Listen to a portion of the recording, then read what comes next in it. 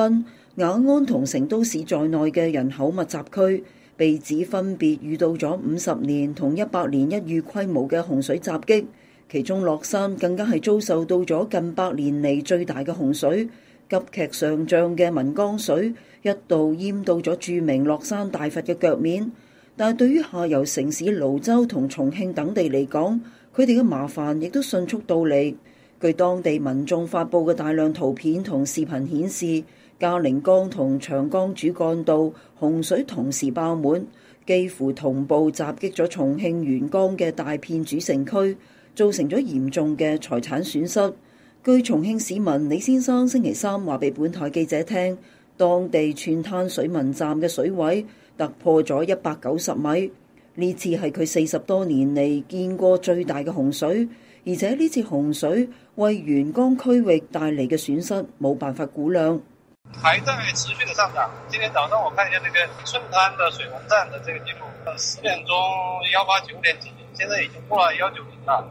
在我们的记忆当中的话，就最大的一次水位最高的。嘉陵江、长江，它的水位就是历史新高啊！新疆路沿线的那些商铺啊，全部被淹掉了。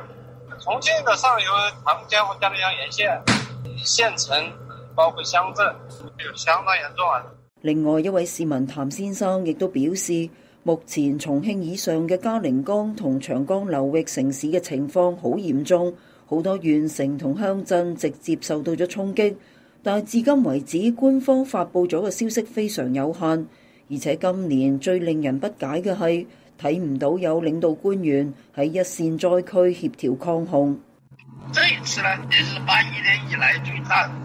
河川非常严重，通南非常严重，通南双江镇是全年，就楊善敦的故乡嘛。但是呢，因为他控制报道嘛，所以其他的是受灾的情况基本上都不允许报道嘛。从七月份开始就讲的是水域面积扩大、水漲旱了，他，就就用了一些很荒诞的名词。